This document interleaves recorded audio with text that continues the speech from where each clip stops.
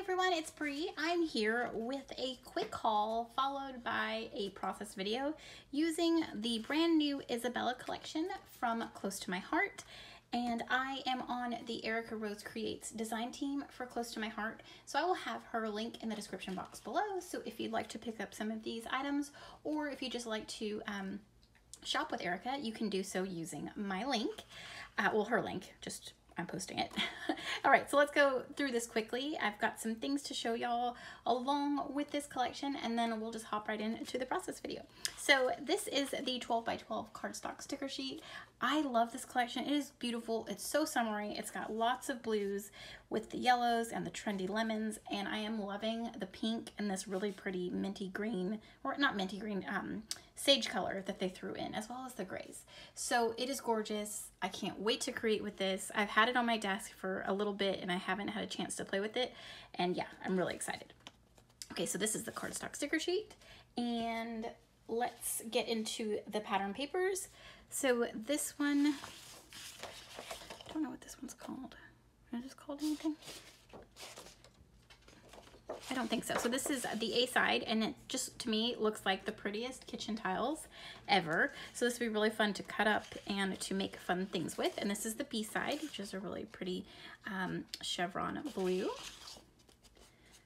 I'm sorry, I'm trying to find a place to put this. My desk is just a mess. That's what happens, I guess, when we create, and I'm horrible at cleaning up after myself when I'm done creating. Okay, so here is this paper. This has got um, some yellow little, um, a little pattern on it, and this is a really pretty blue. And then lastly, we have these florals with some lemons. These would be fun to fussy cut. And then this gorgeous, gorgeous, like, um, foliage, like, like, uh, what am I trying to say? They're not twigs, but they're just these really pretty leaves. I love it. Oh, so pretty, and this green is gorgeous. Okay, so I'm gonna leave these papers on my desk. She also sent me to work with or to play with, and I'm so excited to try this. Um, this is the Smiles from the Garden stamp and thin cuts. So everything that is outlined in blue, I believe there's a die for. Let's just see, yeah. Okay, so here is the stamp set. And lots of butterflies, lots of great phrases. I really want to stamp these and emboss them and then um, ink blend some colors onto them. Just so pretty. This, uh, this flower, like all of these flowers, basically can really go a long way. You can stamp and fussy cut, not fussy cut, but obviously die cut these out and have them as embellishments. So to me, a stamp and a die set, especially ones with these kind of icons, they really go a long way and you basically have your own, you can make your own embellishments whenever you need them. So th once again, this is the Smiles from the Garden and here is the images again, a little bit easier to see on that cardstock lots of fun. Okay, so that is that. She also sent this lemonade um, ink pad and it's a really pretty yellow. And then I went ahead and picked up um, separately because I honestly love the Close to My Heart inks. They are one of my favorites. They are magnetic um, and really easy to work with and just super fun. And I love to watercolor with them, like mixed media wise. I love to ink blend and they're amazing. So I picked up Bluebird and Sage and these of course match this collection. So here, yeah, you can see. Ooh, so pretty. And then I also picked up these Isabella acrylic shapes just to add extra embellishments to my layouts. I love acrylic pieces and these are really, really fun. So we get some um, flowers. We get the same little designs that are on the pattern papers. We get these little floral pieces with the leaves as well. So yeah, see if there's anything different. Oh, look at this one. Look how pretty that is. Isn't it gorgeous? It's kind of hard to see. And I'm sorry if you hear my dog. We have somebody working in the backyard and it's hard to tell because it's so dark here. You can kind of see it.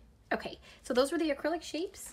Um, I also picked up some wood veneer hearts because these are great to add into my clusters and I love the outlined hearts as well as the full ones. And then I also picked up, because I love a pocket life card, um, these are, uh, let's see, for journaling cards, I should say. There's 24 in here. And to me, I, I love these even though I'm not a pocket scrapbooker. Um, I mean, I could fussy cut this. I could punch that out. Like there's lots of um, possibilities for additional embellishments. Like, look, isn't that cute? So yeah, and I just happen to love 3x4 cards, honestly. I have so many of them, and I not only do I like to mat, but this would make a really cute uh, mini album as well. We go way back. So cute. Oh, I love this one. So fun, make lemonade. And then 3x4 cards. So really pretty. The one says Babes, Brunch, and Bubbly. Oh my gosh. How cute? Happiest together. So yeah, just a lot of fun patterns. Oh, and they are double-sided. Of course, the 3x4s are. Um, love, you and me. These are pretty. Time spent with you is time well spent. So yeah, same idea on the on the back side. Some of them are just flipped. So if you need it to go like this in your pocket scrapbooking, you can. But yeah, I'm totally fussy cutting this out. but yeah, so that is the Isabella collection along with some of the ink pads that I received and the Smiles from the Garden stamp set, uh, stamp set, I should say. I'm gonna go ahead and clean this up so I can get started on my process video. I'll see you there in just a second. All right, let's get to our process video using the Isabella collection as well as this gorgeous stamp set that I just showed you in my haul video.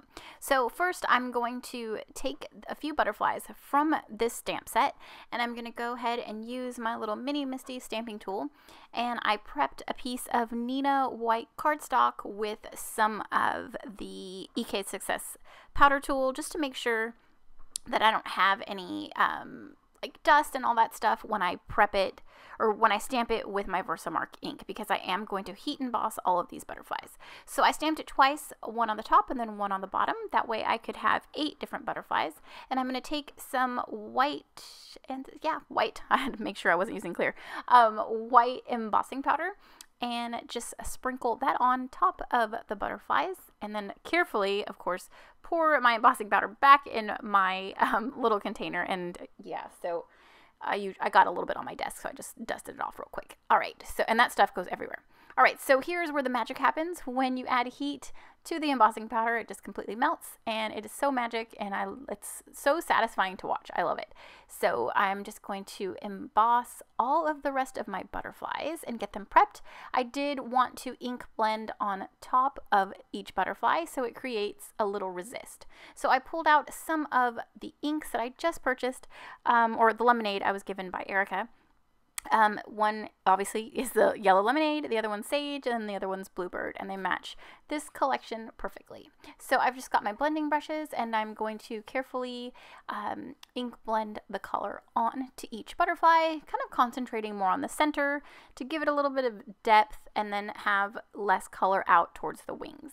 Now, I did keep in mind that when I am going to go and die cut them, um, the color is going to go beyond the wings. So I'm not going to have like a white outline. And I and I was totally fine with that. I knew it and I didn't mind having the color go outside of the edges of the wings. So this pink color is Flamingo from my stash. Since the Isabella collection does have some pinks, I did want to, of course, add some pink butterflies. So now I'm going to go ahead and get the dies for this stamp set. And, um, hold on. I forgot the name. Sorry, I just want to reference it. Oh, so here, this stamp set is called Smiles from the Garden, um, and it's the stamps and thin cuts. So here are those gorgeous butterflies. I went ahead and also stamped some leaves and some of like the little foliage um, and die cut those as well using the same exact ink colors. So I love how they turned out. They're so fun. Um, I do like the fact that the stamped images have the white outline, but then my butterflies have, you know, the color ink blended beyond the um, the wing lines, and that's fine. Like to me, it just provides some contrast, and I love how they, how they turned out. So I did, of course, I love ink blending. It's so like therapeutic to me, and I love creating ink blended backgrounds. So I just took a piece of textured white cardstock, and I've got this gray, and it's uh, the color is pewter and I'm just going to blend it with some of the flamingo ink just to have a little subtle background for everything to sit on. I did fussy cut that lemon with the little flowers out of one of the um, journaling cards and then I'm just going to quickly go through these as well to see if there's any other ones that I want to either mat or um, use like as an uh, as an embellishment or ephemera. So I'm choosing this card right here and I'm going to use it as my title. And I don't really do stuff like that. I usually, if I have phrase, ephemera, or embellishments, I, they kind of are like a secondary embellishment or like a subtitle. But for this one, I was like, I really like this saying. And it's a the picture I'm using for this layout is of me and my son.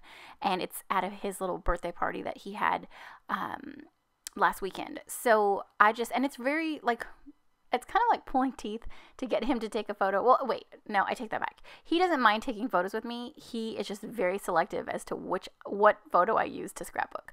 Um, but he did approve this one, I think. Let's cross fingers because I'm sure I'll I'll hear about it if he doesn't. Okay, so anyways, I matted the photo using a few other cards and then as well as some pattern paper from the collection. And then this main uh, image that I fussy cut from those cards is it's going to be like a the main part of the embellishment, one of the embellishment clusters. Um, so I'm just going to build off of that. And then there is that little phrase that I cut out and I'm going to distress the edges just to, you know, give it some interest. And I'm just going to tuck it right here. And I usually like put everything without having any like a like a void and this one kind of does a little bit like below it and it didn't bother me and I really really liked how it turned out. So this was this came together a little bit differently in regard to my title. Usually I would have that and then maybe another title, but um yeah, I like how it I like how it turned out. So I've already adhered everything down. I've popped up the butterfly wings. I've added some um, tangled thread and some foam tape to, you know, obviously give some dimension. And I did pull in some of these Isabella acrylic shapes and I adhered those down with my Scotch Tacky glue in just a few areas, just adding some white. And it's just, I love how clean and simple this layout is, even though I did do some heat embossing and some stamping and ink blending. Um, I just love how this turned out and I love this collection. It's so fun, it's so summery.